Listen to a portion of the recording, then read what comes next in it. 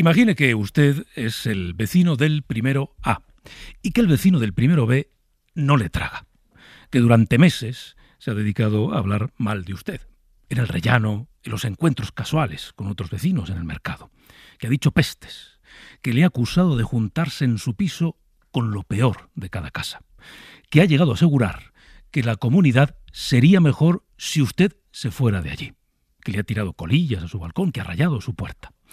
Imagina que un buen día el vecino del primero B llama a su puerta y le pregunta si le puede regar las plantas durante sus vacaciones. Pues en eso anda Feijó, diciendo que va a pedir ayuda al vecino del primero A. Son las 10 de la noche las 9 en Canarias. En la cadena Ser, hora 25. Pedro Blanco.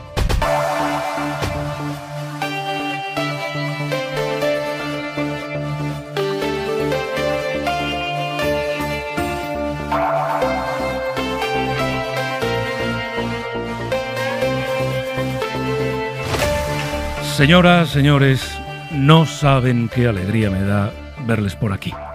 Si un mes de julio, a esta hora de la noche, andan al otro lado de la radio, es que quieren que les contemos lo que ha pasado hoy. Y es lo que vamos a hacer. 25 de julio, día del patrón de Galicia, de la tierra que gobernó eh, Alberto Núñez Fijo, y ya veremos si de la tierra a la que volverá, si es que los suyos no le perdonan el resultado. Mire, yo creo que decir que no se tienen apoyo simplemente por haber hablado con algún grupo me parece una conclusión precipitada. Uh, UPN y Coalición Canaria están en la mejor disposición. Hablaré las próximas semanas con el Partido Socialista y con Vox y a partir de ahí pues vamos a seguir trabajando. A Feijó le va el futuro en mantener viva la idea de que tiene futuro. Y claro, después de que el PNV le dijera ayer que no, que con ellos no cuente, cualquier intento de sumar tiene ciertos tintes melancólicos para Feijó. Podría decirse que ha terminado por cavar su propia trampa. Vox ha hecho de tapón antes de las elecciones y después va a hacer de repelente. Es evidente que mi obligación es hablar con los grupos. El candidato socialista, la misma noche electoral, me propuso empezar a hablar después del recuento del voto cera y por tanto entiendo yo que los primeros días de agosto una vez finalizado el voto cera tendremos que hablar con la segunda fuerza política, que es el Partido Socialista Obrero Español. Hablará con el PSOE, hablará con Sánchez, con el vecino del, primero A. Podríamos escribir ¿eh? el guion de esa conversación entre todos esta misma noche, pero estará bien eh, que hablen. En unos minutos le vamos a pedir a Mariela Rubio dos cosas. Que nos dé las claves de la estrategia que está siguiendo Feijó y que nos cuente en qué andan los varones del PP si algunos ya están afilando cuchillos o si solo han abierto el cajón para recordar dónde los tenían guardados. Hoy Pedro Sánchez ha coincidido con el rey en la inauguración institucional del Museo de las Colecciones Reales. Hoy el camino es el que señalan los personajes del tapiz de Pérez Villalta. Un camino de justicia, de convivencia, de construcción en definitiva de una sociedad orgullosa de su pluralidad y su diversidad, y que aspira a convertirse en ejemplo de tolerancia, de progreso, donde la ciencia y el ingenio marcan el camino. Oye, hasta en un tapiz del Museo de Colecciones Reales hay lecturas para la España de hoy. Vamos a tener que tapizar el estudio de la SER, la tertulia de hora 25. El rey y el presidente en funciones se han visto hoy, pero no se van a ver en Maribén, como es habitual en verano. Hay una estrategia expresa en el gobierno y en el PSOE de hacer un parón y de demostrar más tranquilidad que el ganador de las elecciones. Claro que luego van a venir los apuros, porque los apuros vendrán. Pedro Sánchez haurà de saber fins on vol arribar fent política per decidir si vol o no vol gobernar a l'estat espanyol. Decía hoy la líder de Junts que tiene que ser Pedro Sánchez el que decida hasta dónde quiere llegar, cuánto quiere ceder, qué precio está dispuesto a pagar por tener los votos de Junts. Ya saben que el precio que pone ese partido en su exigencia de máximos es doble, amnistía y referéndum. Nosotros somos un partido constitucionalista y eso significa que cualquier cuestión que abordemos o que traslademos tiene que estar estrictamente en ese marco constitucional. Así que hacer otros comentarios, otros planteamientos distintos, alejarse de esa realidad que el Partido Socialista representa, que justamente es esa garantía de estabilidad y sobre todo esa garantía del cumplimiento constitucional que hemos llevado a rajatabla es la respuesta que daba esta mañana, hoy por hoy, la ministra María Jesús Montero. Luego escucharemos algunas reflexiones más de las que ha aportado. Y luego nos detendremos en las previsiones del Fondo Monetario Internacional Quédense de momento con un dato. La economía española crecerá un 2,5% y eso es un punto más que lo que calculaba hasta ahora el FMI. Como hay algunos riesgos, luego le vamos a pedir a Javier Ruiz que nos hable del brillo del dato y de las sombras del dato, que también las tiene. Estamos pendientes de la evolución de un incendio en Gran Canaria, ha quemado ya unas 200 hectáreas, ha obligado a desalojar a unas 200 personas para evitar los riesgos asociados a la evolución del fuego y en un contexto de emergencia en el Mediterráneo, con una oleada de incendios terrible en Grecia, en Italia, en Turquía o en Argelia. Victoria García, buenas noches. Hola Pedro, buenas noches. Se quema el sur de Europa y las llamas también azotan el norte de África. Solo en Argelia 34 muertos de ellos 12 eran agentes forestales y de seguridad. En Turquía, un incendio ha obligado a evacuar un hospital en la región de Antalya y amenaza uno de los principales bosques del país. En Grecia, la situación no es mucho mejor, con incendios en varias islas. Un avión de Canadá Air que colaboraba en las labores de extinción se ha estrellado en el monte de Platanistos, aunque sus dos ocupantes están vivos. En Italia, en Sicilia, con el aeropuerto cerrado, por el humo y las llamas hay centenares de atrapados, entre ellos Eduardo, un joven español y estamos parados desde hace tres horas. Hay muchísimos coches, está toda la carretera parada y es un poco una situación de emergencia con, con, los incendios en las carreteras. La situación dista de pintar mejor en las próximas horas porque en Argelia se espera para mañana temperaturas cercanas a los 48 grados a la sombra. De la tarde también la sentencia de un tribunal de Bruselas siete años después de los atentados del 2016 que dejaron 32 muertos. Ángel Villascusa. Son ocho los declarados culpables de asesinato o intento de asesinato por las bombas que explotaron en el aeropuerto de Bruselas y en el metro en el año 2016 y acabaron con la vida de 32 personas y provocaron más de 300 heridos. La sentencia confirma la conexión entre estos ataques en la capital comunitaria y los que se perpetraron un año antes en la sala Bataclan en París. Dos de los hoy condenados ya lo fueron a cadena perpetua por los ataques en la capital francesa. Uno es Salah Abdeslam, el principal sospechoso de aquellos ataques, y junto a él Mohamed Abrini. Ya estaba clara con la investigación la conexión entre los ataques, pero ahora se confirma con esta sentencia. Esta tarde hemos conocido la muerte de tres personas en una misma playa de Tabernes, en Valencia. Se estaban bañando en una zona que no tenía socorristas en el primer semestre del año. Han muerto 169 personas ahogadas, son 29 más que en el mismo periodo del 2022 dicen los expertos que habría que renovar con urgencia los sistemas de vigilancia. Lo que ha pasado en nuestro país es que eh, se nos ha quedado anticuado todo el sistema de gestión y esto está repercutiendo a, profesionales y está repercutiendo también el número de vidas humanas. En tres minutos, en un poco más de tres minutos, saludamos a los analistas de esta noche y nos metemos ya en materia.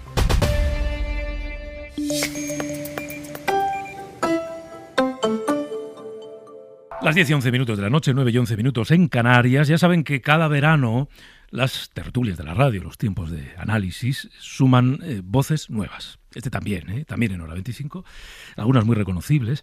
Em, por ejemplo, Sergio Pascual, analista político, exdiputado en el Congreso desde Galicia. Sergio, muy buenas noches. ¿Qué tal? Muy buenas noches, Pedro. Bienvenido y bien hallado de nuevo. Hemos sumado este verano eh, el análisis de Pablo Montesinos en lo de ex, comparte eh, categoría con Sergio Pascual, exdiputado, y ah, en la actualidad corresponsal político del HuffPost. Pablo, buenas noches. Un placer estar aquí de nuevo en este estudio en otra faceta. En otra faceta. ¿Recuerda cuál fue la última vez que Sí, sí, lo decíamos, lo decíamos a micrófono cerrado. La última vez que yo entraba a este estudio era todavía vicesecretario de comunicación del PP y era la gran crisis del, del PP ya en los, en los días finales de, de, Pablo Casado. No venía muy contento entonces, espero irme esta noche con una sonrisa. Esperemos que, sí, esperemos que sí. Lola García, que hemos estado a gusto. de nuestro equipo titular de analistas, la conocen bien. Lola, muy buenas noches. Muy buenas noches. buenas noches a Pablo también, que hace tiempo que no, que no lo oía. Un placer, un placer. Bueno, pues por aquí pasaremos algunas noches de verano. Yo diría que dónde vais a estar mejor. bueno, sí, se te ocurren algunos lugares, sí, Pablo, sí, pero, pero bueno, no, pero este no está mal. Sí, estamos encantados. No está mal, no está mal. Venga, vamos al lío, que se nos van a amontonar si no los, los argumentos para esta noche. Quiero que escuchen esto. El sanchismo es un conjunto de mentiras, manipulaciones y maldades. Vengo a derogar el sanchismo. Ese es usted, un presidente más generoso con los verdugos que con las víctimas. Si del sanchismo hubiese dependido, en el País Vasco habría asesinos en las instituciones.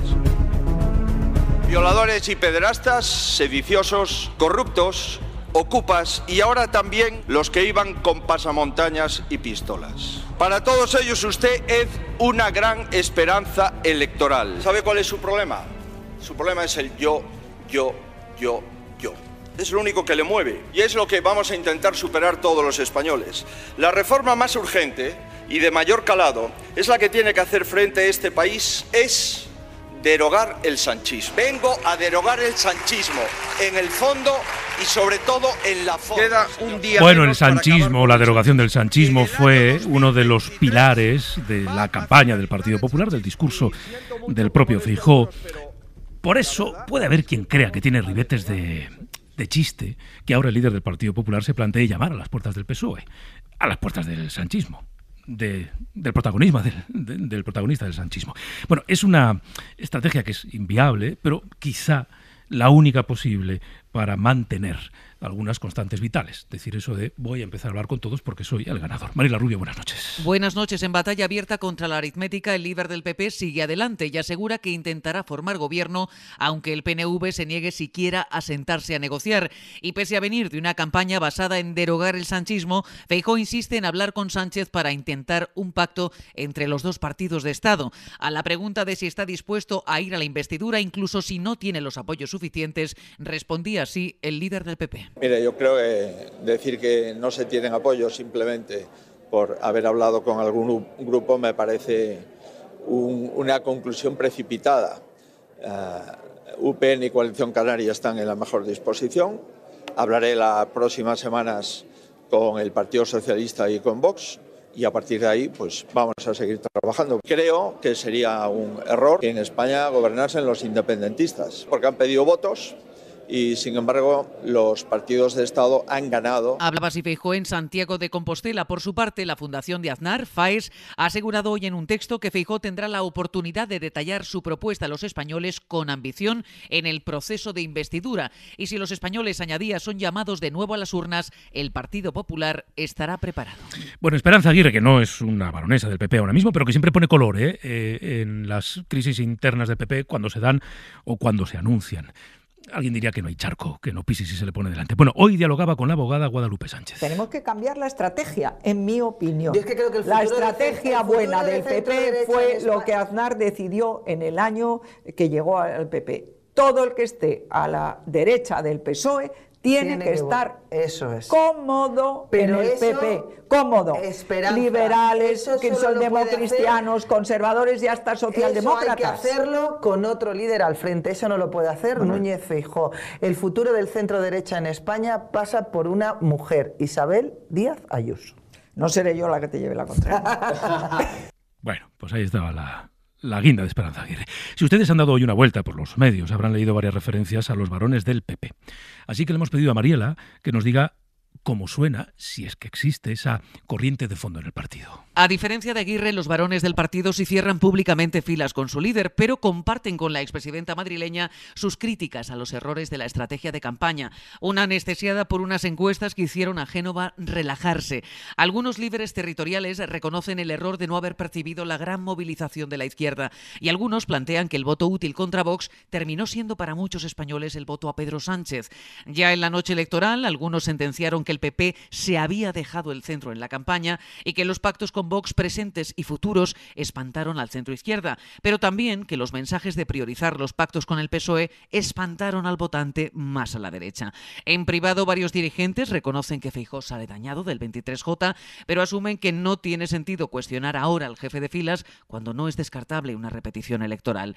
Lo interno, pues, tendrá que esperar a que se aclare la situación política, pero tampoco nadie descarta que se termine abriendo la caja en el medio plazo si el PP termina en la oposición. Desde luego, Pedro, hace solo 15 días nadie habría preguntado, como ayer se hizo a todos los varones a la puerta de Génova, si el liderazgo de Feijó está en peligro. Bueno, eh, Pablo Montes, si nos puede llamar la atención, ¿no? Eh, muchos oyentes del 25, españoles, votantes de un otro partido, eh, este empeño del líder del Partido Popular en trasladar la sensación de que oye, hay opciones, ¿no? hay posibilidades, incluso llamando a la puerta de aquel a quien has querido derogar eh, durante todo este Bueno, yo creo que, el, que Alberto Núñez Fijó lo que está haciendo es construir un relato. Eh, hay que partir de una premisa y es que los resultados electorales que se cosecharon el pasado domingo no estaban en el pronóstico del Partido Popular prácticamente nadie. Yo creo que nadie en el Partido Popular esperaba ese resultado. Todavía están en shock, todavía están asimilándolo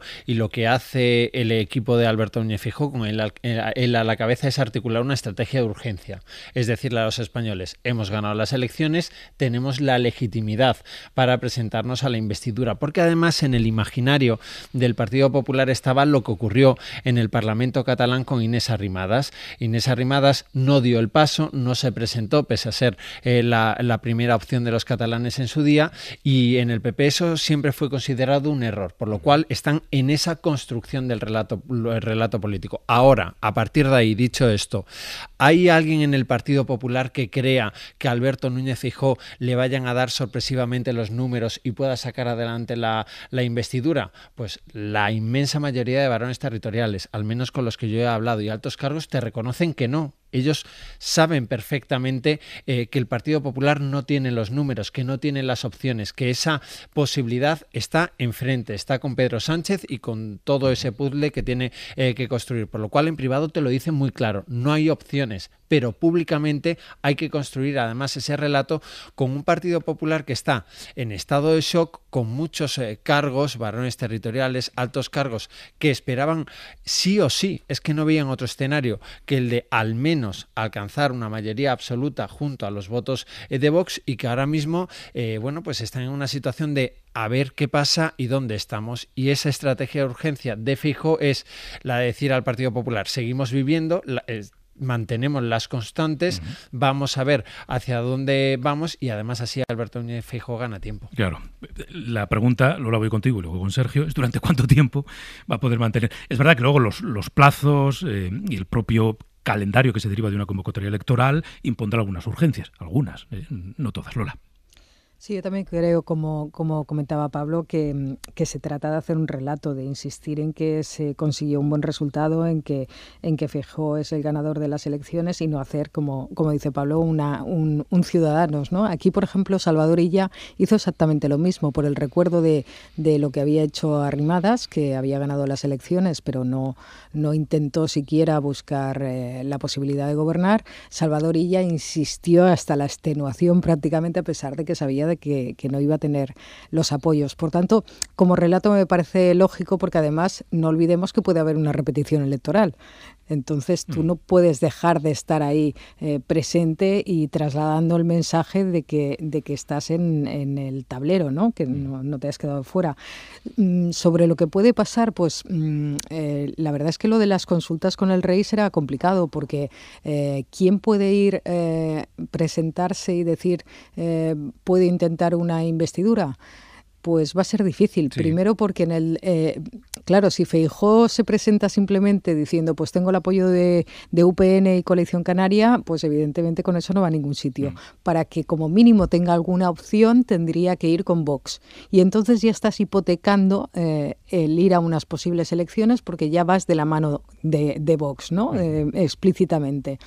Por parte del PSOE también tendría problemas. Ahora hablamos del PSOE, sí, sí. Te digo una cosa, ¿eh? acudir con Vox y, UPN y Coalición Canaria. Eh, quiero decir, UPN y Coalición Canaria no taparían lo suficiente el hecho de que vaya con Vox. ¿no? Son dos partidos minoritarios que tienen un diputado cada uno de ellos.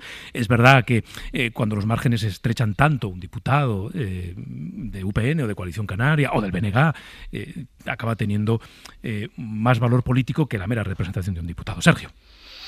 Bueno, yo, yo creo que en realidad esta maniobra de Feijóo es una maniobra de autodefensa que él ya es consciente de que no va a salir vivo como dirigente político de, esta, ¿no? Porque imaginemos los, escenarios que se ponen encima de la mesa. Un escenario probable en este momento, o plausible al menos, en el que el PSOE eh, consigue articular una mayoría para ser investido, eh, es evidente que Fijó no llega vivo a la siguiente convocatoria electoral dentro de cuatro años.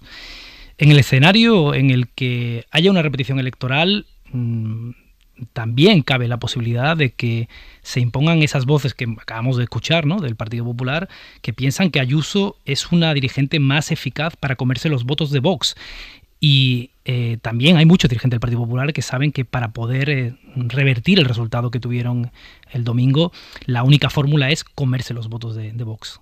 De tal manera que la única posibilidad que, que tiene Fijo de llegar vivo, al menos a esa hipotética repetición electoral, es que el rey le deje ir a una, a una investidura al Congreso.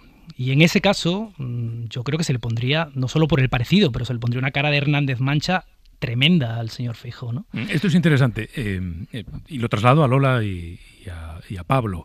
Eh, esta tesis de Sergio Pascual. Lola, que Feijóo no, no llegaría a unas próximas elecciones. Hombre, abrir una crisis en este momento y provocar que, en fin, que Pedro Sánchez, que, que, parece que le puede coger el gusto a esto de decir, bueno, pues elecciones ya mismo, ¿no? Y pillarte que casi no tienes líder, también me parecería mm. muy arriesgado. O sea, es una operación eh, complicada, no, no, no, no se elige, no se hace un relevo así tan de buenas a primeras. Tampoco sé si, eh, si Isabel Díaz Ayuso estaría dispuesta a, correr ese riesgo ¿no? tan, tan rápidamente. Eh, hay que tener en cuenta que irías a unas elecciones pues con, con, un, con el shock emocional de un batacazo, ¿no? de, de, una, de algo inesperado. Y, y no sé hasta qué punto ella considera que esta es su oportunidad. Yo creo que más bien ella desearía esperarse, ¿no? Creo. A mí me ha parecido que el análisis que previamente nos hacía Mariela Rubio era muy exacto. Hay que explicar como dos partes ¿no? de, la situación que está viviendo internamente el Partido Popular eh, tras eh, bueno, pues los eh, diálogos que yo he mantenido con algunos de sus cargos. Primero, hay varones territoriales, altos cargos del Partido Popular que han reclamado autocrítica, que creen que hay que darle una vuelta a la, a la relación que se tiene con el Partido de Santiago Abascal, que han echado de menos, además, eh, pues unas consignas claras de Génova, no que cada uno hiciera lo que quisiera, eh, que en una comunidad autónoma una cosa fuera muy mala, pero que la otra era muy buena, que en un sitio se podía atravesar una línea, pero en otra era una línea roja, sí, que esa reclamación de autocrítica eh, se ha hecho a, la dirección nacional del partido, también que esto signifique que en estos momentos en el Partido Popular haya un movimiento construido para cambiar el liderazgo del Partido Popular y apartar a Alberto Núñez de la dirección del partido? Yo creo que no. Al menos a corto plazo yo creo que eso no existe. Para mí, eh, la prueba del algodón hay que conocer un poco al Partido Popular. En el Partido Popular las estructuras territoriales son importantísimas. Lo que dicen los varones. Eh, todavía no había salido Alberto Núñez Fijo del balcón de Génova 13 y ya había un tuit de Juanma Moreno, del presidente de la Junta de Andalucía, diciendo yo estoy con Alberto Núñez Fijo.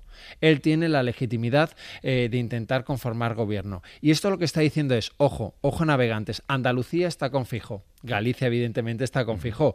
En la comunidad valenciana no ha habido ningún movimiento raro. Castilla y León, Mañueco ha dejado claro que está con fijo. Es decir, las estructuras territoriales, los compromisarios. Luego, eh, en el Partido Popular todavía está esto de los militantes votan, que no sabemos si se va a modificar o no. Ya, pero bueno, las estructuras territoriales tienen su poder y están hablando de una forma muy clara. Yo creo que Fijo va a marcar sus tiempos.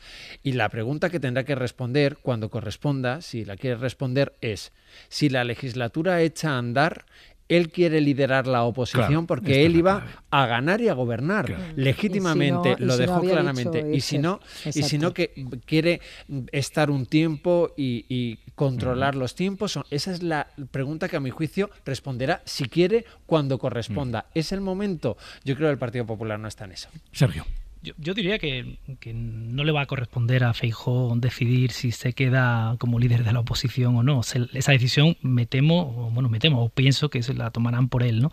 Y la verdad es que eh, creo que Pablo Montesino sabe eh, lo rápido que se puede ejecutar un cambio de liderazgo en, el Partido Popular. O sea, lo, vivió en sus carnes, por decirlo Podemos empezar con las apuestas de, verano, pero de momento yo esto no, no, no, lo vemos. No lo vemos. El, el, último, el último elemento ¿no? que, que pongo encima de la mesa, ¿no? simplemente para para reflexionar sobre que esa posibilidad no está del todo descartada, yo no digo que vaya a suceder mañana, es que desde las terminales mediáticas de la derecha el fuego amigo ha comenzado eh, a tan solo bueno, iba a decir 24 horas, pero creo que no se han esperado ni 12 horas para empezar a disparar contra el cuartel general, ¿no? por decirlo de alguna manera. ¿no? Y las terminales mediáticas en la derecha española sabemos que mandan mucho y que pesan mucho. ¿no? Mm.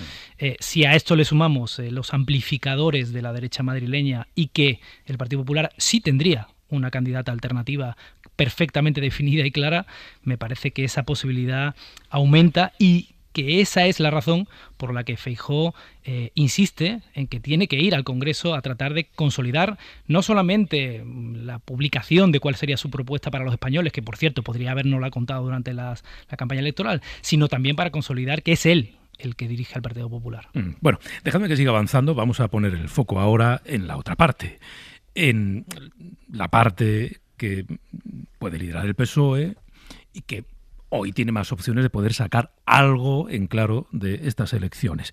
En fin, lo venimos diciendo, ¿no? El PP necesita demostrar que tiene opciones de hacer posible algo que es un imposible. Y el PSOE, sin embargo, el gobierno, tiene necesidad de lo contrario, o eso aparenta, ¿no? Dejar que el PP, bueno, pues y el propio Feijóo se vaya cociendo poco a poco en estos días que suceden a las elecciones en una especie de breve calma chicha veraniega que puede durar pues un par de semanicas, no más. Ima Carretero, buenas noches. Hola, buenas noches. El gobierno está en funciones porque así lo dice la ley, pero además es que Sánchez ha decidido que en la estrategia de la investidura le interesa el perfil bajo no irá a Maribén al despacho extraordinario con el rey. De eso hay precedente para todo porque Sánchez en funciones estuvo en Palma en 2019 y Rajoy en funciones no fue en 2016. En esta ocasión se quita del foco, tampoco habrá más reuniones del Consejo de Ministros hasta el 22 de agosto y no habrá rueda de prensa de balance del presidente. Dicen en su equipo que el balance lo hicieron los ciudadanos el domingo. Y todo eso lo enmarca la Moncloa dentro de la absoluta normalidad de un gobierno que ha dado estabilidad a al país contra todo pronóstico, eso dicen, y que ahora está esperando que se configure otro nuevo. En este momento lo que se está produciendo es una nueva cita electoral tras cuatro años de gobierno y, por tanto, absoluta tranquilidad, eh, normalidad, todo ha funcionado correctamente, la ciudadanía se ha expresado, es eh, la actitud de... Ha evitado en rueda de prensa la portavoz Isabel Rodríguez responder sobre las negociaciones que corresponden al ámbito de los partidos, aunque la número dos del PSOE esta mañana en Hoy por Hoy ya ha de que quieren ser discretos. Por el momento se están cuidando muchísimo de poner a Junts en el centro de la escena y están ignorando los llamamientos de Núñez Feijó. Es más, no tienen prevista reunión alguna de Sánchez con el líder del PP. El día 17 se constituyen las Cortes y el PSOE espera llegar a esa fecha con un acuerdo que visibilice que Sánchez tiene más apoyos que Feijó para la investidura. Bueno, esta mañana pasaba por hoy por hoy María Jesús Montero. La hemos escuchado antes a las 10. Quiero recuperar un momento de la entrevista con José Luis Astre porque es un requiebro de esos de manual para no empezar molestando a uno de los posibles socios, al menos en la abstención que puede necesitar el PSOE. Para usted el PP es un partido de derechas, ¿verdad? Sí. Y Junts per Evidentemente, vamos, no lo digo yo, lo dicen sus políticas. ¿Y Junts per Cataluña qué es? No, yo no voy a calificar lo que ha hecho per, per Cataluña. Evidentemente, eh, cuando nosotros siempre hemos trabajado y hemos trasladado la mayoría progresista, eh, es una mayoría superior a la que representa el Partido Popular y Vox. Y si me apura, pues UPN, o porque ya. Bueno, esto es algo así como de, uy, una piedra en el camino, voy a ver eh, si, la, si la rodeo, ¿no? Va a ser muy interesante, Lola, asistir durante todo este tiempo a la manera en la que el Partido Socialista y los cargos del Partido Socialista se relacionan con la necesidad de que eh, Junts acabe favoreciendo la investidura. Va a ser interesante y va a ser muy largo, yo, yo creo. Tengo la impresión de que... Y además no va a ser nada fácil. Me da, me da la impresión que... Eh, quizá porque hemos llegado todos exhaustos al verano, que se lo están tomando con una cierta complacencia y que dan, están dando por muy seguro que, va a existir ese apoyo, esa abstención de Junts per Cataluña. Yo no lo tengo nada claro, la verdad. Mm, soy más, más bien tendente a una en este momento a una repetición electoral que no, que no eso. ¿eh? ¿Y quién negociará por Junts? Puigdemont en persona. Bueno, supongo que habrá algún tipo de intermediario o intermediarios, pero quien va a tomar la decisión, evidentemente, es, es Puigdemont. Y además se da la circunstancia de que no tiene absolutamente ningún cargo en el partido. Él es un militante de base, pero, pero, vaya militante. Claro, vaya militante. ¿Te imaginas que dice Puigdemont, no, no, no, yo si no hablo con Pedro Sánchez, no no negocio nada. Pues no es descartable cualquier cosa similar. No, no, no sería. Eh, hay que partir de la base de que Puigdemont lleva seis años en Waterloo, eh, abonando un discurso de, de, resabio, de de, sentirse humillado. Eh, entonces ahora eh, es su oportunidad, digamos, de, hacer pasar por el aro a, determinados eh, a determinados actores que él considera que son el, origen de todos sus males. Y por ahí pasan Esquerra Republicana y Pedro Sánchez. Sergio. Bueno, la verdad que es un atrevimiento lanzarse a la piscina estando Lola ahí, que conoce muchísimo mejor que yo el escenario catalán. Es, difícil, ¿eh? me temo que... como soy un optimista patológico... Perdona, cuando hablaba de, si Junts era de derechas, yo estaba pensando, es que no lo saben ni ellos. yo de todas maneras, como soy un optimista patológico, me, lanzo a la piscina. ¿no? Em, yo tengo la sensación que, parte de, de, la suposición de que Junts pudiera ser un actor racional, que ya es mucho suponer. Eh, parto, digamos, de la suposición de que un voto afirmativo a Sánchez es imposible para Junts, porque lo partiría por la mitad. Por un lado, porque es un partido de derechas que, cuyas bases sociales no quieren que se apoye un gobierno progresista, y por otro lado, porque es un partido independentista que no quiere eh, y que no ha apoyado en ningún momento a, este, al dueto Partido Socialista eh, Unidas Podemos y ahora Sumar. Y por otro lado, creo que un no también les haría correr un cierto riesgo de, de ruptura. Menor que el sí, evidentemente, pero también les haría correr un cierto riesgo de ruptura. Por lo tanto, para ellos, en términos de cohesión interna, la abstención parece una respuesta relativamente razonable. Ese es un elemento. El segundo elemento que yo, pongo encima de la mesa es que en ciudades medias pareciera que ha habido un drenaje de votos de Junts hacia hacia el PSC. En Sabadell ha perdido un 25%, en Reus ha perdido un 22%. Bueno, esto es un aviso a navegantes también sobre la posibilidad de aparecer frontalmente contra, contra el, posible, la posible investidura. Mm. Y el último dato que, pongo encima de la mesa, que este sí que es más de, bueno, pues de un poco de, augur, pero bueno, eh, ya que estamos con la figura de Puigdemont, que en realidad es quien va a tomar esta decisión a, la postre, yo tengo la sensación de que Puigdemont, que se ha llevado los últimos 3, 4 años condenado al ostracismo mediático, eh, puede estar tentado de disfrutar de una legislatura de cuatro años en la que permanentemente tengamos que ir todos los españoles y las españolas y todos los medios de comunicación a llamar a su puerta de Waterloo para preguntarle qué opina. Porque eh, Esto es un caramelito para él que creo que le va a costar mucho rechazarlo. Ahí tienes toda la razón. Pablo. Bueno, yo parto de, una premisa que, es que yo con Pedro Sánchez ya, quiero decir, no descarto absolutamente nada y no descarto ningún tipo de acuerdos. Eh, si algo ha demostrado Pedro Sánchez es que resiste, que es un superviviente, que aguanta eh, y, que, y que tiene margen eh, para sacar adelante cosas que parecen imposibles o inverosímiles en un, en un primer momento. Yéndonos a los hechos, tú anteriormente en el, en el inicio del programa ponías otro corte eh, de, la ministra Montero en la que decía que el gobierno lo va a plantear todo en el marco constitucional. Es decir, que nada que quede fuera del marco constitucional pues eh, puede entrar en una mesa eh, de diálogo para lograr la investidura. Luego si vas a, las declaraciones, al menos a, la primera valoración del que fuera presidente de la Generalitat catalana, que hoy además está fugado de la justicia, lo que plantea a priori es todo fuera del marco constitucional y de la, eh, y de la eh, Carta Magna, por lo cual el choque parece indiscutible, parece evidente. ¿no? Eh, Sánchez dice por la Constitución, con quienes están llamados a ser sus socios para lograr la investidura, dicen que ellos quieren una cosa que no cabe en la Constitución insisto, todo es posible. Quiero decir, si algo ha demostrado Pedro Sánchez es que puede buscar un recoveco, puede buscar una vía.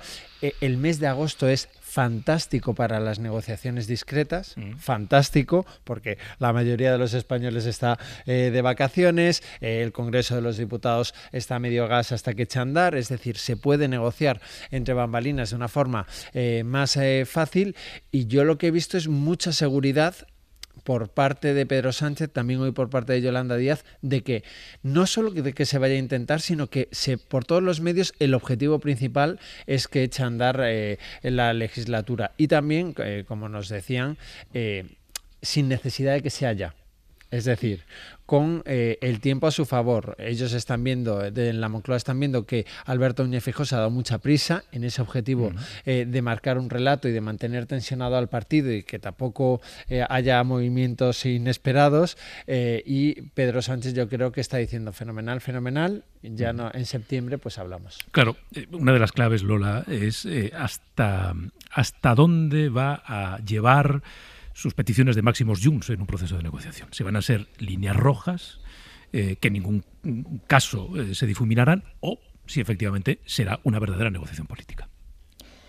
Bueno, yo, creo que eh, antes comentaba Sergio lo de lo de los reparos ideológicos derecha-izquierda, yo creo que no hay nadie en la dirección de Junts ni tampoco Puigdemont que tenga ningún problema en ese sentido. O sea, el problema para pactar con el PSOE no es, no es eh, ideológico en términos de derecha-izquierda.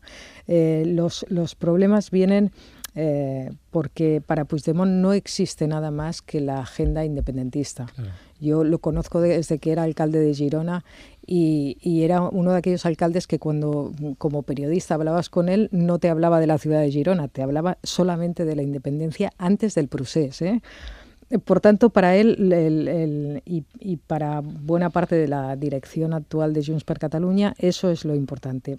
Por tanto, no, va, no, se va a hablar, no se va a poner sobre la mesa, como por ejemplo pone Esquerra Republicana, pues traspasos de cercanías o mm, este tipo de cosas o financiación autonómica. por ahí, por ahí no va Incluso Bildu, que también ha planteado una agenda social que como hemos visto en el Congreso de los Diputados. No estamos hablando de eso. Por tanto, vamos a tener que hablar de, dos, esas dos cosas concretas que pone sobre la mesa, eh, que ellos llaman autodeterminación y amnistía. Yo creo que el tema de la autodeterminación es prácticamente imposible. No sé, que ir es prácticamente imposible ir más allá de lo que ya se ha acordado con Esquerra, que es vamos a buscar cuál sería el encaje de Cataluña y, si llegamos a un acuerdo lo votamos. Pero es que eso puede ser muchas cosas. Puede ser un estatut, puede ser muchas cosas. Y en el tema de la amnistía, de lo que ellos llaman amnistía, pues a lo mejor hay algún tipo de fórmula que a mí no se me ocurre por la cual se puede impedir eh, que, decenas y decenas de personas que están encausadas todavía y que están pendientes de juicio y que probablemente irán a, la cárcel, eh, pues acaben ingresando en la cárcel o si lo hacen puedan salir rápidamente. Yo no sé cuál sería esa fórmula, pero la cuestión va, va, a girar eh, sobre eso y sobre todo para Puigdemont es importantísimo aparecer como que ha conseguido bastante más que Esquerra Republicana, porque él ha estado repitiendo durante todo este tiempo que Esquerra Republicana se ha vendido por un plato de lentejas, que se ha vendido por los indultos a sus líderes. Bueno, los mensajes cruzados de la noche electoral entre Esquerra Junts y Esquerra eh, eran muy interesantes, eh, mm. con mucha carga política. cuando has dicho eh, lo que le importa mucho a Puigdemont es aparecer, yo creía que te ibas a quedar ahí, aparecer permanentemente. no, eso también. Antes, antes lo comentaba Sergio, ¿no? que, es verdad, o sea, ahora mismo está disfrutando de, de, ¿no? de, esa, de ese protagonismo recuperado, eso es evidente. Venga, Sergio, cerramos este este, este, capítulo. Sí, fijaos, sobre, sobre las dos peticiones de, de Junts. Yo tengo la sensación de que la, la, petición de traspaso de la competencia de realizar un referéndum es prácticamente imposible, no tanto por la voluntad del Partido Socialista, sino porque requeriría una, una mayoría en el Senado que no que no es no existe en este momento, que el Partido Popular controla el Senado. Tiene mayoría absoluta el Partido Popular, vamos. Efectivamente. Y sin embargo, sobre la cuestión de la ley de amnistía, que, que se plantea la posibilidad de que sea inconstitucional, yo creo que ahí hay al menos, al menos controversia. ¿no? En España hay una ley de 1977 de amnistía que fue ampliada en 1984 y que el Tribunal Supremo convalidó en 2012. O sea que es perfectamente constitucional una ley de amnistía y hay ejemplos en nuestro alrededor, em, en los países de nuestro alrededor, como una ley de amnistía francesa del 88 contra el secesionismo corso o en Portugal contra un grupo de revolucionario en el 96, ¿no? O sea, que no sería algo tan extraño. Eh, otra cosa es que el Partido Socialista vaya a entrar en, en este tema a cambio de una abstención, ¿no? Quizás sería pagar un precio demasiado alto. Mm. Y déjame que añada un, elemento más, este tiene que ver con sumar la, suma de muchos como candidatura, que ha derivado electoralmente en el resultado, en una resta de algunos. Ya veremos si luego va hacia una refriega interna en la que participen muchos o pocos, eso ya lo veremos. Sumar es verdad que ha entrado en una cierta hiperactividad desde el primer momento, ha anunciado contactos, ha estado pidiendo ya eh, reuniones, mientras de fondo se oía el reproche de la líder de Podemos, de Yone Belarra, que señaló ayer algunas de las explicaciones que en su opinión dan contexto a la pérdida de votos y de diputados. Hoy ha aportado su respuesta Yolanda Díaz. Guillermo Lerma, buenas noches. Buenas noches. Visiblemente incómoda y molesta la candidata de Sumar, que lleva toda la campaña rehuyendo de las cuestiones internas, ha tenido que responder al análisis que Ione Belarra hizo ayer en un vídeo grabado y remitido a los medios de comunicación. En él, la líder de los morados aseguraba que la coalición no ha logrado su objetivo de ensanchar el espacio electoral, pero según Yolanda Díaz, esta opinión no se la transmitió en directo el pasado domingo cuando Ione Belarra se subió junto con el resto de líderes a celebrar el resultado en la sede de Sumar, un resultado que ha recordado la vicepresidenta triplica al que obtuvo Unidas Podemos en las autonómicas de mayo. Yo creo que los partidos políticos son dueños de sus palabras y las tienen que valorar ellas mismas. Yo lo único que le digo es que el último proceso electoral, eh, Unidas Podemos obtuvo un millón de votos. Belarra atribuye ese retroceso a una supuesta estrategia de Sumar para invisibilizar a Podemos y renunciar al feminismo excluyendo de las listas a Irene Montero. Díaz le ha recordado en una entrevista en La Sexta que el feminismo no es propiedad de nadie. El feminismo eh, es el movimiento emancipador más importante que tenemos. No es de nadie. La salida de tono de Belarra no solo ha molestado a la dirección de campaña de Sumar, también a dirigentes del resto del espacio que interpretan que Podemos solo intenta mantener el foco para no quedar diluido en la coalición y en un grupo parlamentario del que ya no son la fuerza principal. Recuerdan que ahora solo tienen 5 de 31 escaños. Extrema atención. El Observatorio Ultra. De hora 25. 10 y 45, 9 y 45 en Canarias, verán, esta sección a la que hemos llamado extrema atención nace de una reflexión personal que les quiero trasladar.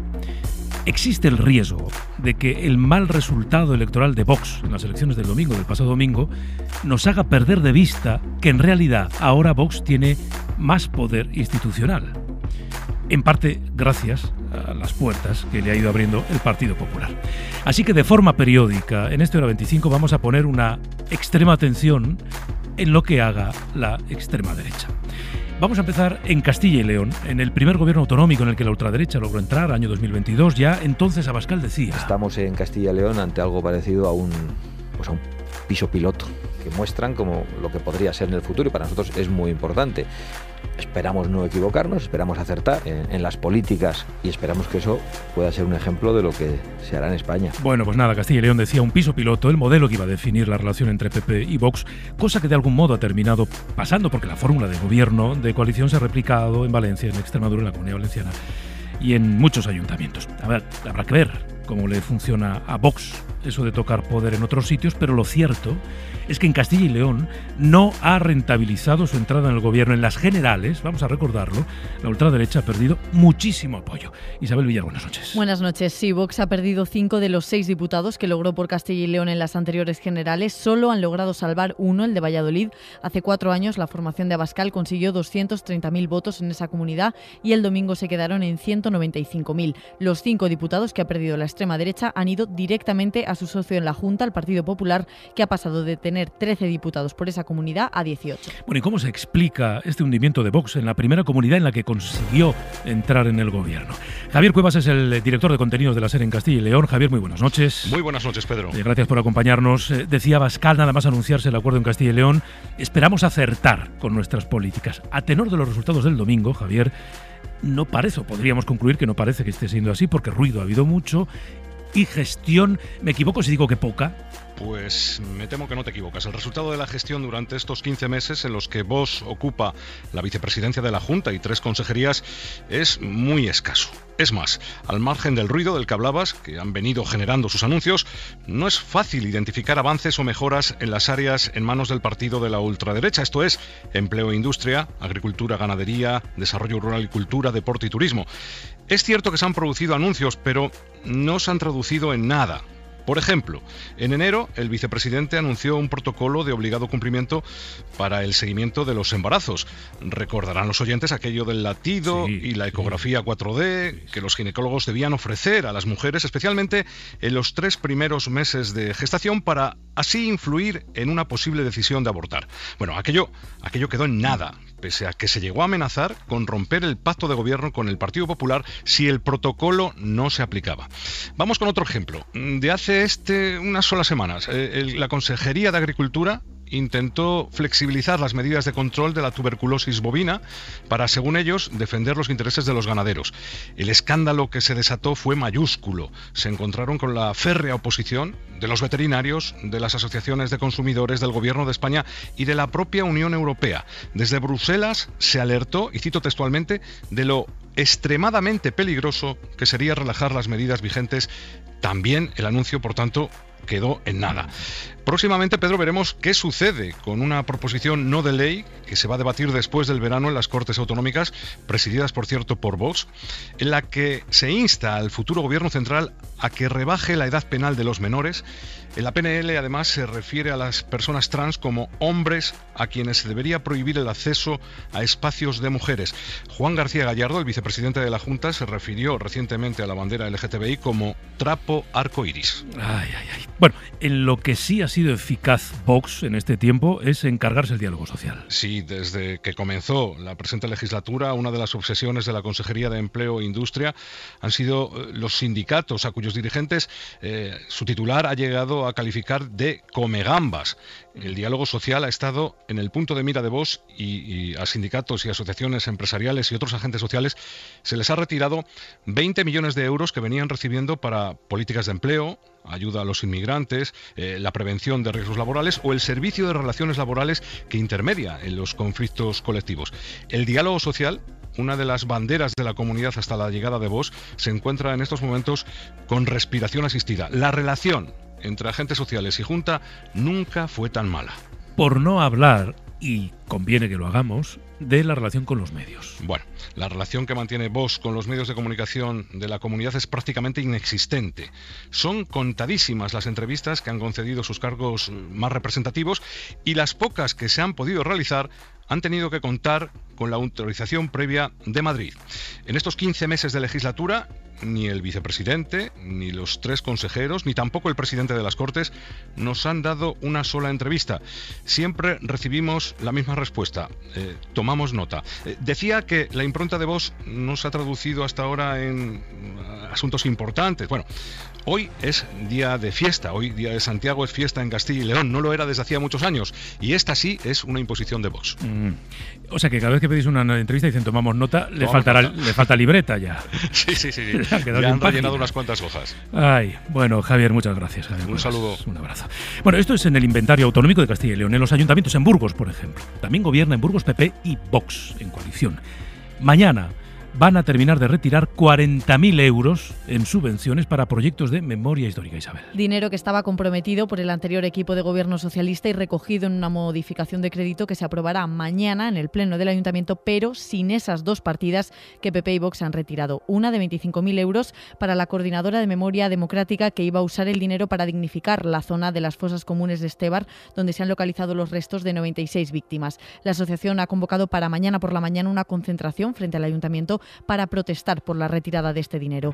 Y la otra partida que cae de 15.000 euros para proyectos de la Cátedra de Memoria Democrática de la Universidad de Burgos, proyectos como estos que nos ha explicado Ignacio Fernández de Mata, director de esta cátedra, en declaraciones a la SER. Seis proyectos vinculados al estudio de la represión de las mujeres, censo de víctimas, una exposición sobre las exhumaciones que se han ido haciendo en la provincia de Burgos, que ha sido una de las primeras y que, y que más uh, fosas ha exhumado desde el comienzo del, del movimiento por la memoria histórica, un proyecto sobre la uh, implantación de uh, adoquines vinculados al recuerdo de los que murieron en los campos de concentración nazi, que en la provincia de Burgos fueron 29 y 3 de la, de la ciudad de Burgos. Para esto se habían comprometido 15.000 euros que el nuevo ayuntamiento les ha retirado alegando una cuestión técnica, pero Fernández de Mata tiene claro lo que hay detrás.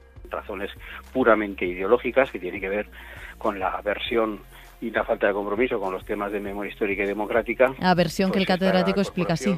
Hay gente que, que, que no entienden que no se puede ser demócrata para el presente y franquista para el pasado. Estos discursos absurdos de revolver el pasado eh, o, de que se abre heridas, estos, estos absurdos y, y ridículas presiones que, que tratan de, de más bien de detener las cosas, ¿no? Pues lo que hay detrás es una falta de compromiso y clarísimamente con estas cuestiones suponen, y por el tipo de víctimas y de presiones que hubo, una falta de compromiso democrático. Y un apunte de esta última semana más para terminar el observatorio, el episodio en la localidad madrileña de Galapagar, donde el Ayuntamiento de PP y Vox ha retirado los bancos arcoiris de la Plaza de la Constitución. Aseguran que solo para repararlos, aunque no precisan si los repondrán pintados con los colores de la bandera LGTB. Bueno, pues esto va a ser extrema atención. Le vamos a, a prestar toda la atención del mundo a los retrocesos que se produzcan en aquellos lugares donde la ultraderecha gobierna y aplica sus políticas. En eso son transparentes, ¿eh?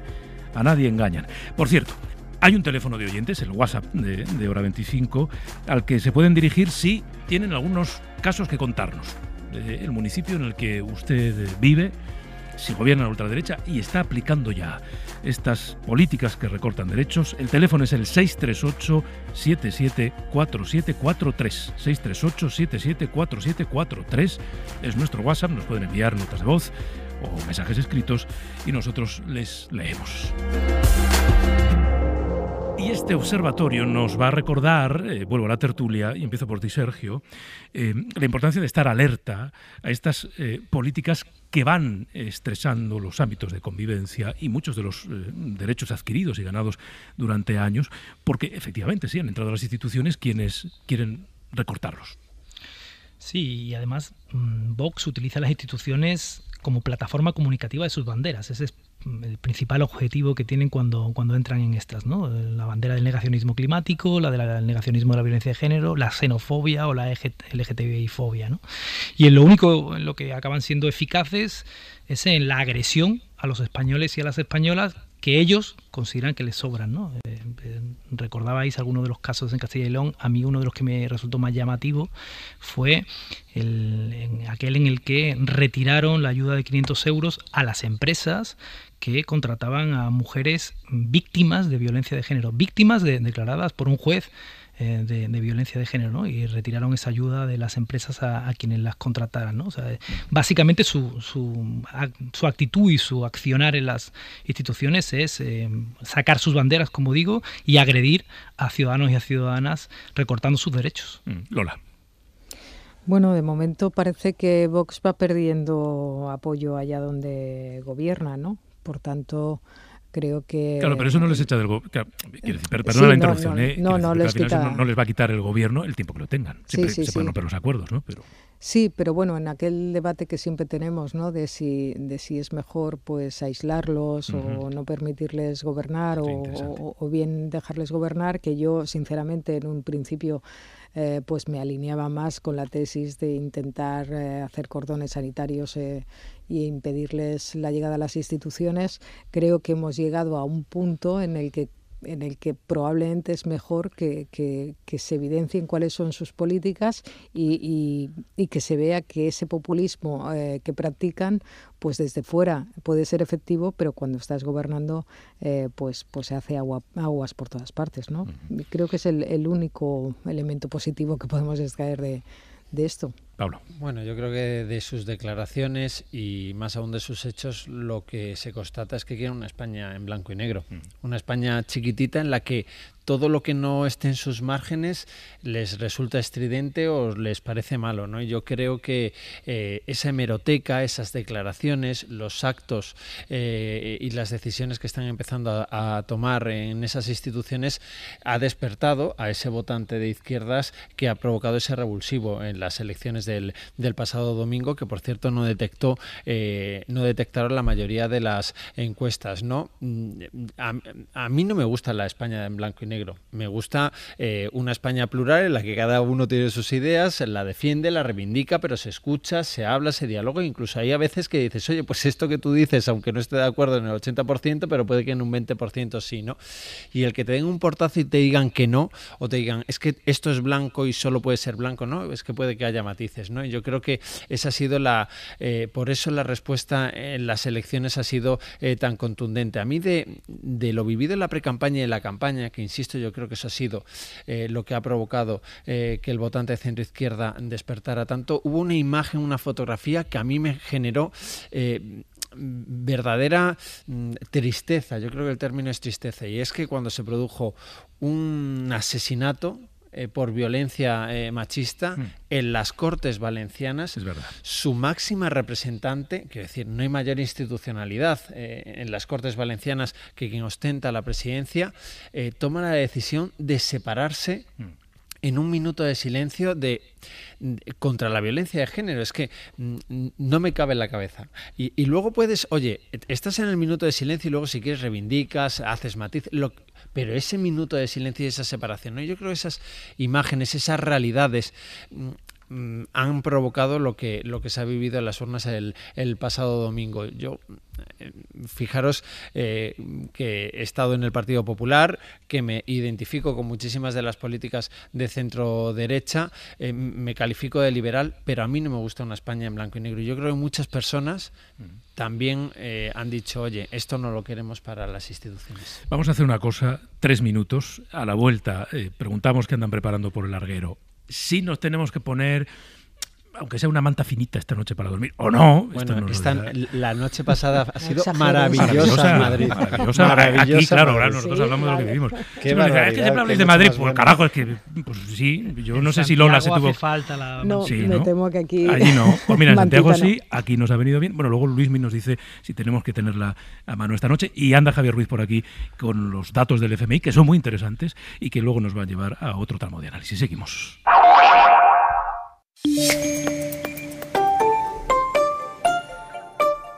11 y 2 minutos, 10 y 2 minutos en Canarias. En la cadena Ser, hora 25. Pedro Blanco. Bueno, pues vamos con el eh, oráculo del fondo de armario, que es Luis Mi Pérez, y que nos tiene que decir qué cajón abrimos esta noche, si el de la mantita fina o, o la metemos para el cajón. Luis Mi, buenas noches. Buenas noches, Pedro. A ver, en función de la comunidad, sobre todo en el interior, en las mesetas, por ejemplo, en Madrid, que estábamos comentando hace un momentillo, en el Cantábrico, Castilla y León, gran parte de los Pirineos, pues esta noche una colchita y cerrar ventanas porque va a hacer bastante fresco. En cambio, en el Mediterráneo, sobre todo en la costa andaluza, en Baleares, mucha gente todavía va a ir moviendo las piernas y buscando el fresquito del hierro de la cama, que es lo único que va a dar algo más de fresco mm. porque va a seguir el bochorno. Mañana, además, Pedro vuelve a subir la temperatura en el suroeste del país y en algunos sitios habrá que usar el paraguas. Básicamente, mañana por la mañana en la costa de Barcelona, en las Pitiusas y entre el sur de Valencia y norte de Alicante. Te hacemos caso, ¿eh, Luismi?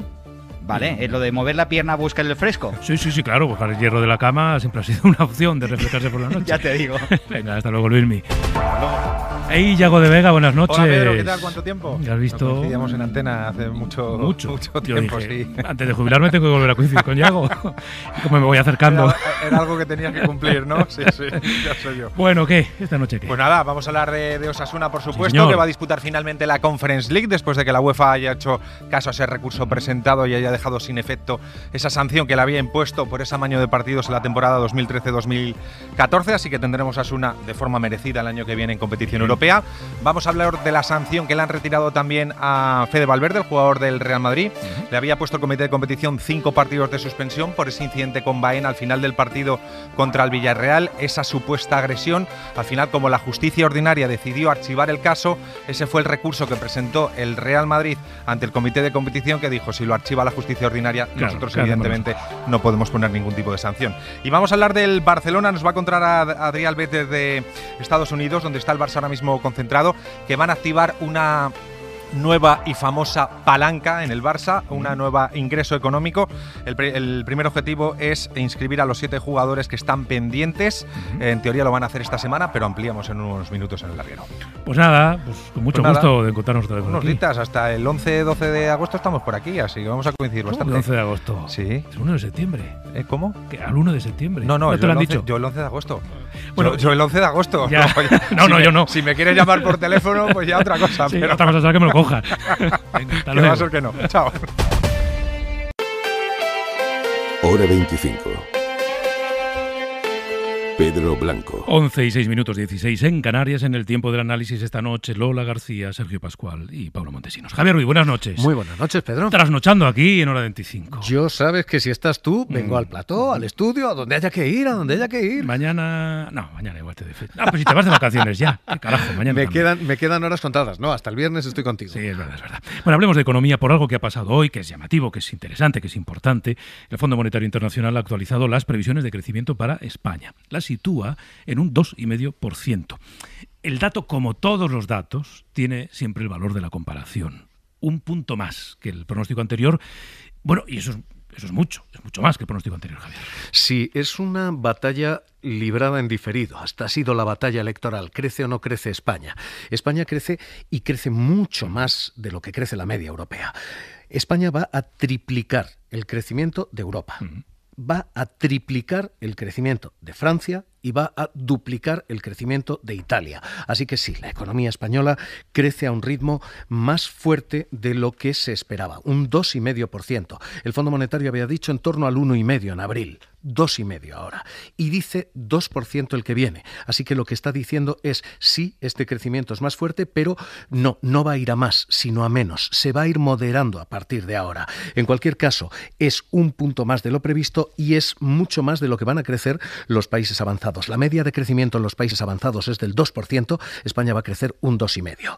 Este es el dibujo local, el dibujo global es el del mismo crecimiento, que se va atenuando poco a poco. La economía global va a crecer un 3%, pese a que China se enfría, es un 0,2% mejor de lo que habíamos dicho, así que lo que tenemos ahora mismo es una economía que va de más a menos, que se modera, no se para. Ah, los peros, los peros a veces son los mejores antiinflamatorios. ¿eh? En fin, no nos vayamos a confiar, a venir muy arriba con los datos. Y hay peros también en los pronósticos del FMI. Hay al menos tres peros y los tres son importantes para España. Primer pero, el fundamental, la inflación esto no baja, pese a que aquí estamos viviendo el dato de inflación más bajo de Europa, el segundo dato más bajo de inflación de Europa, y pese a que tenemos una sensación de control, la inflación va a volver a subir. Esa inflación no está controlada, dice el Fondo Monetario, ni este año ni el año que viene, y advierte de algo más, la media de inflación va a rondar el 5,2% todavía el año que viene. El FMI dice, hay dos factores que la pueden disparar. Uno, las rentas, los salarios, si se suben los salarios, pueden subir los precios. Y dos, la sequía, el niño y el efecto de la sequía va a pasar todavía factura a los alimentos. Así que el primer gran pero es ese, la inflación con rentas, con salarios y con alimentos como subcapítulos, y el otro es Alemania. El crecimiento español se nutre fundamentalmente del turismo. El Fondo Monetario dice hoy la economía alemana va a entrar en recesión la gran bolsa de turismo en España es Reino Unido y Alemania. Mm. Nuestros turistas son británicos y alemanes. Si Alemania entra en recesión, si la locomotora de Europa se para, los vagones se paran también. Y ese es el segundo gran riesgo para España. Por lo demás, el tercero, una crisis financiera que, dice el Fondo Monetario, ojalá y no llegue. Bueno, pues nada, datos peros, luces eh, y sombras. Gracias, Javier. Cuidado, hasta mañana. tengo unos minutillos eh, todavía por delante. Yo creo que la economía la economía siempre es un argumento relevante, muy relevante eh, en, en, política. Pero si recordáis en la campaña electoral que acabamos de vivir, eh, una de las cosas que mucha gente afeaba, Sergio, voy ahora contigo, es que, es que se habla poco de economía. ¿Dónde está la economía? ¿Dónde está la discusión sobre la economía? ¿Por qué en esta campaña se habla poco de la economía? En el debate tuvo protagonismo, ¿eh? en el cara a cara entre Pedro Sánchez y Alberto Núñez Feijóo, pero es verdad que, bueno, pues eh, los análisis que se hacían era pues, que Pedro Sánchez no había conseguido rentabilizar unos datos que bueno, pues, pues eran quizá menos malos de los que la oposición intentaba hacer ver. Sergio. Sí, fijaos que no hace tanto tiempo, hace un año ahora, ¿no? Decía Núñez Feijó que nos dirigíamos hacia una profundísima crisis de, la, economía, ¿no? Y esa profundísima crisis evidentemente no, llegó. Em, dicho esto, eh, creo que hay que distinguir entre los datos macroeconómicos que son auspiciosos, eh, que parece que eh, están reconduciendo y haciendo converger la economía española más rápido eh, con la europea de lo que de lo que venía estando hace tiempo, pero los datos micro en realidad mm, no hace falta nada más que salir a la calle para percibir que todavía están lejos de, retornar a la normalidad pre-crisis, por decirlo de alguna manera. ¿no? Eh, la inflación se ha moderado, pero las subidas de los precios se han quedado y no han estado acompañadas por una subida, excepto el salario mínimo del profesional, que efectivamente ha tenido una subida muy importante y que es muy importante porque, porque digamos que contiene el, problema en las rentas más, más bajas y más vulnerables, pero para el resto de la ciudadanía, evidentemente, esa subida de la inflación, que insisto, se ha quedado, mm, no ha visto ningún tipo de contrapartida y la subida del Euribor, que también afecta a mm. un porcentaje muy importante de las familias, está ahí y tampoco apunta a que vaya a bajar. ¿no? En ese sentido, creo que hay una mm, distancia importante entre, la, entre los números que, que se cantan eh, por, por, los voceros macroeconómicos y la realidad que percibe la gente. Mm. Lola. Sí, yo creo que lo que ocurría también es que escuchabas dos discursos demasiado extremos, ¿no? O sea, por una parte una euforia, ¿no? que, no se corresponde efectivamente en muchos, en muchos casos con, con esa microeconomía de la que hablabais em, y que la gente puede percibir, ¿no? Como que no, no casan unos datos con, con su vida diaria y por otro lado era una catástrofe, un desastre absoluto eh, y además con el argumento de la deuda. Eh, que sí, que la deuda es, es un problema y que, y que efectivamente acaba por tocarnos a, todos, pero pero que también está como muy alejado ¿no? de, de esas vivencias de, de, la gente normal. Con lo cual estaban hablando de economía, pero de algo que, de una economía que la gente no tocaba. ¿no? Eh, los, las previsiones del Fondo Monetario pues eh, son halagüeñas para España en el sentido de que son mejores que, la media europea, pero efectivamente hay elementos muy puntuales como la, inflación de los alimentos y lo de las hipotecas que a mí me parece esencial y que este gobierno, el que salga eh, de, si, si no tenemos nuevas elecciones, debería, debería afrontar de inmediato. Pablo. Bueno, decía eh, Sergio, es verdad que también a mí eh, me venía a la cabeza que eh, en verano, no solo por cierto el Partido Popular, que se acogía a las previsiones de algunos organismos, pero que el verano pasado, justo hace un año, que por cierto la electricidad estaba por las nubes y nos decían que si estaba la crisis energética en todas las portadas y mm, este Fondo Monetario Internacional que ahora mejora las previsiones económicas para España, la IREF, el Banco de España, todos los organismos nos decían, ojo que en septiembre los nubarrones, que la crisis mm. económica va a ser terrible. Es verdad que eso no se cumplió. Quiero decir, las cosas hay que reconocerlas. Eh, en, lo macro, desde luego, eh, no se cumplió. España aguantó eh, bien. Ese Banco de España, ese IREF, ese Fondo Monetario mm. Internacional tuvieron que actualizar sus previsiones, mejoraron esas previsiones para el Reino de España. Y es verdad que en términos económicos, si esto hay que reconocerlo, España ha aguantado el tipo. Y lo cierto es que la economía sigue funcionando y funciona bien. Quiero decir, si tú vas hoy a, cualquier litoral malagueño, malagueño porque me he ido a mi tierra, perdonada, cualquier Bueno, pero sí. También Málaga.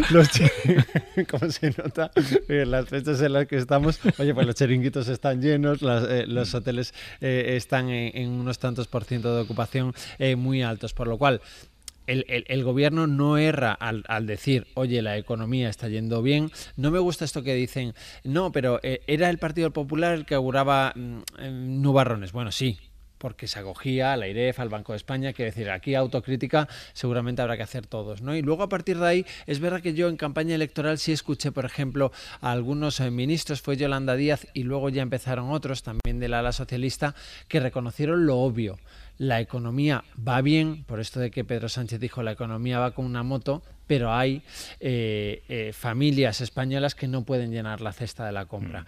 Y pasado este suflé de la campaña electoral, también habrá que ir por ahí y habrá que continuar por ahí, eh, porque al final hay muchos españoles, oye, que con la hipoteca, la cesta de la compra, hoy había un reportaje, no recuerdo en qué periódico, que decía el melón y, la, sandía, que, que es el, postre eh, o la merienda están a unos precios que hay muchísimas personas que hoy no lo están llevando a la cesta, ¿no? Yo compré una el otro día por 14 euros, me quedé, me quedé impactada. Una sandía. 14 euros. Estaría exquisita, ¿no? Dulce. Bueno, no sé qué decirte. ya, también yo, al final no te la comes ni con ganas. Lo que quiero decir con ello es que después de todo este suflé, si la economía en, datos macros va bien, pues eh, habrá que ir un poco a la micro y habrá que seguir ayudando a, esa, a esas personas que, oye, que hoy, hoy no llenan la cesta de la compra porque los precios siguen estando por las nubes. Es verdad que, vivimos eh, las familias la economía del descarte, es decir, ¿qué dejo, ¿en qué dejo de gastar? Porque tengo que gastar en comer, tengo que gastar en, pues, en el combustible, que ya vale menos, pero sigue siendo caro. Eh, si quiero irme de vacaciones, mañana, por cierto, a las nueve y media, eh, en hora 25, vamos a hablar de algo que ya se ha hablado, pero que conviene recordar y que muchos habrán comentado seguro eh, este verano. Oye, qué caro es viajar este año. Qué carísimo es eh, viajar este año. Incluso las mismas vacaciones, en el mismo lugar, en el mismo hotel, los mismos días que el año pasado, este año es mucho más caro. Bueno, pues hablaremos de eso, hablaremos con los sectores implicados y nos preguntaremos, por ejemplo, si ya debemos olvidarnos de los vuelos low cost. Esto que hace no tanto, ¿verdad? Eh, uno puede encontrar chollos baratos, baratísimos, ahora en esos mismos recorridos resulta eh, prácticamente imposible. Eh, hay algo de hoy, yo sé que todos tenían muchas ganas de hablar del Consejo del Poder Judicial, os lo veía yo en las caras, pero quiero dejarlo contado porque es relevante. El pleno extraordinario de hoy del Consejo del Poder Judicial, que lleva años sin renovarse, oye, pero de repente hay un pleno un 25 de julio por la tarde todo tiene una explicación y es que hay un presidente nuevo que lo primero que ha hecho ha sido eh, meter mano en la estructura interna del Consejo. Nos va a contar Pedro Jiménez. Golpe en la mesa de Vicente Aguilarte, que arranca en su nueva etapa como presidente en funciones del Poder Judicial, renovando todas sus comisiones, especialmente la permanente, que es la que dirige el día a día de la institución. Salen cuatro vocales que han plantado cara a Aguilarte para tratar de impedir que asumiera el cargo y la comisión se queda con él como presidente, más las progresistas Rusebach, Pilar Sepúlveda, Marca Brejas y los conservadores José Antonio Ballestero Carmen Jombart y Maru Carmona, que también preside el Observatorio contra la Violencia Machista. Venceslao Olea mantiene la presidencia de la Comisión Disciplinaria, Clara Martínez de Careaga la de Igualdad y Gerardo Martínez Tristán, el vocal que gastó 4.000 euros viajando en business a Colombia o que contrató un coche con conductor por más de 700 euros para ir a Burgos, la de Asuntos Económicos.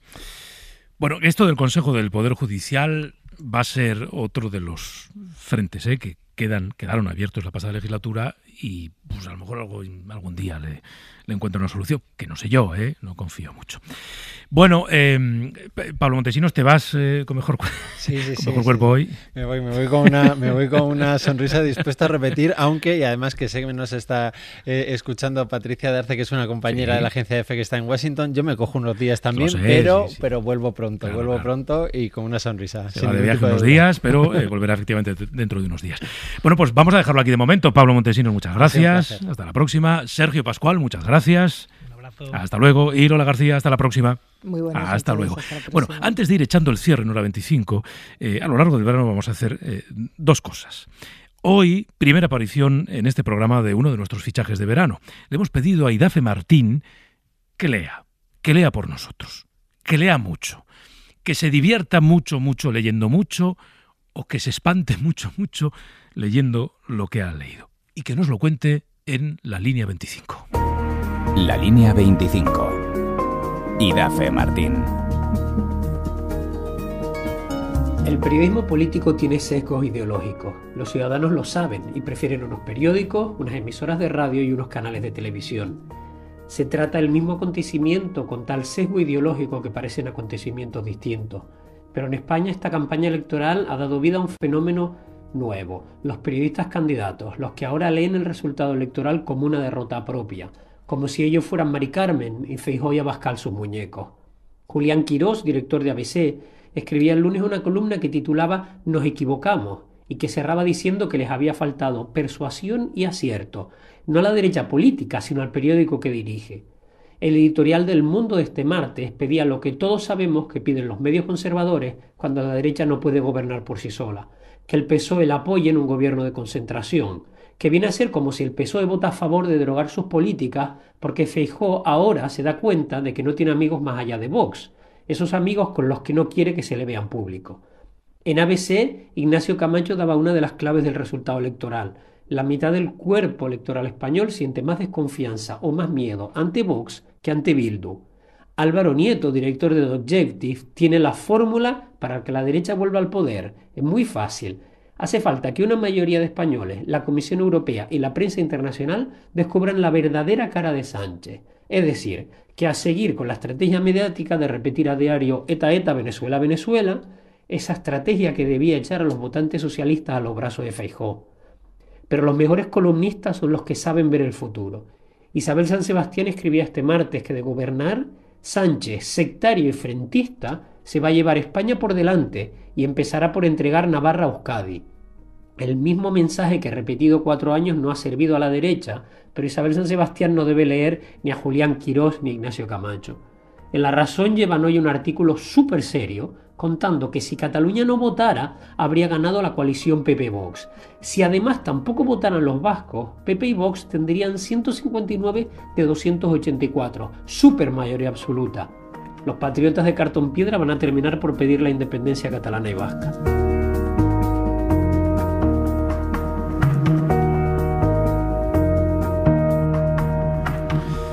Bueno, pues cada noche a las once y pico, el pico ya lo iremos afinando poco a poco. Estará por aquí Idafe Martín de lunes a jueves, de lunes a jueves, para contarnos las cosas que se encuentra leyendo, lo que otros escriben, lo que otros analizan y lo que otros eh, opinan.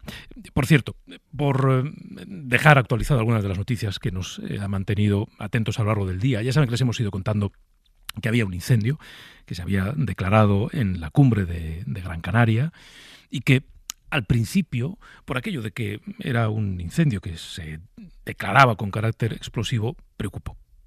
Obligó a desalojar a decenas de personas. Eh, se quemaron, se han quemado, al menos en los primeros compases, unas 200 eh, hectáreas. Bueno, pues las noticias que llegan son buenas. De hecho, de manera literal, lo que han dicho las autoridades de las islas es que la evolución del incendio pinta bastante bien después de ese inicio explosivo. Y eso es importante, es muy importante porque las imágenes que siguen llegando desde, en fin, buena parte del Mediterráneo, Sicilia, Argelia, Grecia, Turquía, son terribles, son tremendas.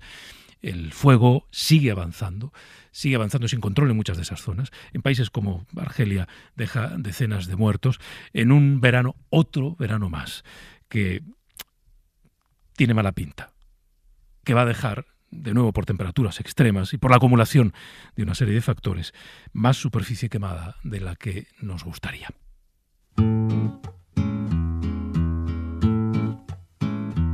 He estado pensando en estos días y en la forma en que me mira. He estado pensando y todavía no sé si me falta algo. Siempre he pensado que la música es una buena forma de despedirse. Que la belleza, que la belleza la pongan los que saben hacer cosas bellas. Así que cada noche una canción para ir cerrando la 25. He estado pensando, pero lo siento, creo que todo sigue intacto, así que perdón.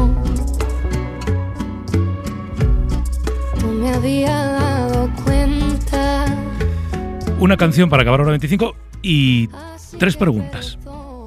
Ahora que tanto hablan del CERA, de ese recuento del voto de los españoles que viven en el extranjero, ¿no se les estará pasando por la cabeza hacerse también con esto un correos? ¿No creen que es relativamente fácil descubrir quienes ganan o pierden después de unas elecciones, que basta con distinguir entre quienes hacen cuentas y quienes empiezan a ajustar cuentas. Algunos han empezado pronto. Y una más. ¿Tienen algo mejor que hacer las noches de verano? Si no, pues las esperamos aquí cada noche en la 25. Todavía no me olvido de lo bueno que todavía creo que te quiero, así que perdón me había cuenta. Venga, que nosotros hemos hablado ya mucho por hoy. Hasta mañana.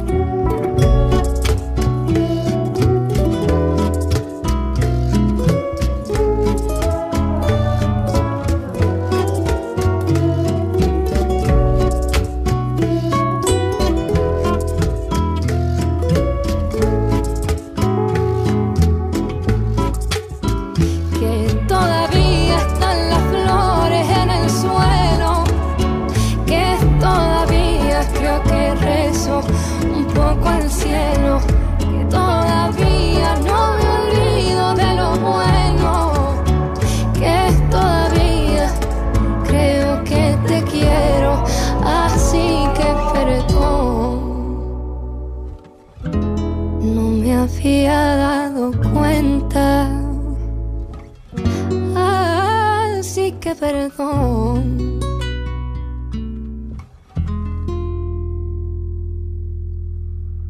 No me había dado cuenta. Hora 25. Pedro Blanco.